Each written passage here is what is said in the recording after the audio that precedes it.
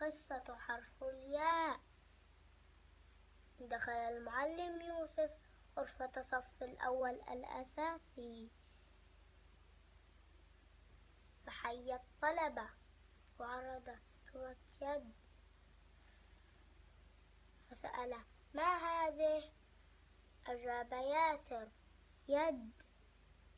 قال المعلم يد الإنسان نعمة من الله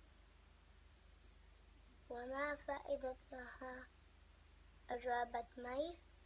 يأكل بها الإنسان ويكتب ويرسم. قالت يمنى.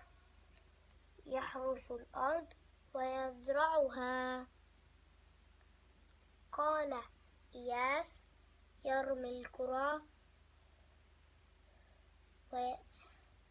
ويحمل الناي يعزف أحلى الألحان. شكر المعلم الطلبة. وقال وبهما يحمل الراية يص ويدافع عنها يصبح سيدا في وطنه.